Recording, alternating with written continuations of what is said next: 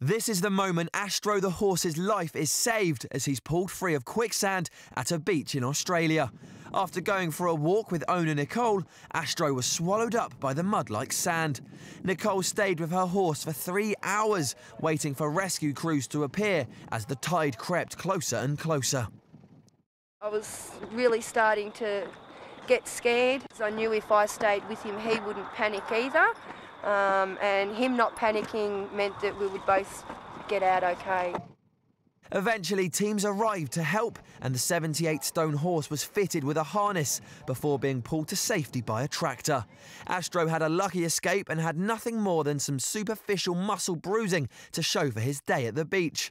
He's back home now where his appetite's as good as ever and he's galloping freely again, which is a good sign as the experience would give most people the trots.